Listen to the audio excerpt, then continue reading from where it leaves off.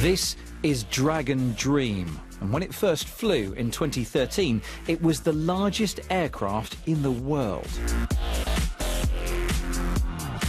90 metres long, 27 metres wide, 30 metres tall, and 27,000 cubic metres in volume.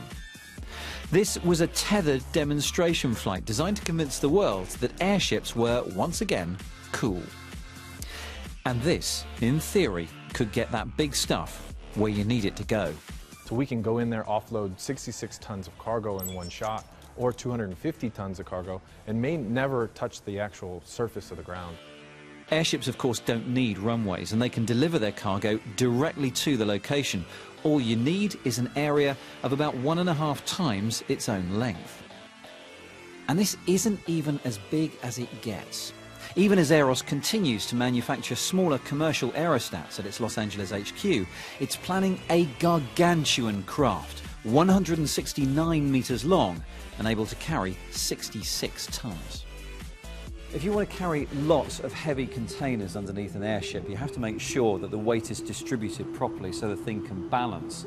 And another problem is if you wanted to get at a container at the far end, ordinarily you'd have to open the doors, take everything off to get that off, and then redistribute the weight before you can go on.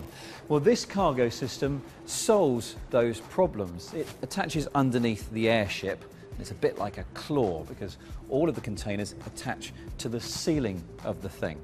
When the airship lands, there's still space for a lorry to come in underneath and just unload the one container it needs. It'll fly at 120 knots at 10,000 feet, low enough that the crew won't need oxygen. And the reason this idea may just take off this time around is due to a cunning solution to the age-old problem of delivering heavy goods by lighter than air craft. The problem is not in takeoff or carrying the goods, you just fill the thing with enough helium to give you the lift. The problem actually comes in the delivery of the cargo because you set down, release all of that weight and In a traditional airship, every time you uh, want to offload 10,000 pounds of cargo, you got to put 10,000 pounds of something back on the ship or else it's just going to pop up like a cork. What we are able to do is instead of taking on that extra weight, uh, we're able to compress the helium and bring in air to replace that volume. And that means uh, we get heavier before we even offload cargo.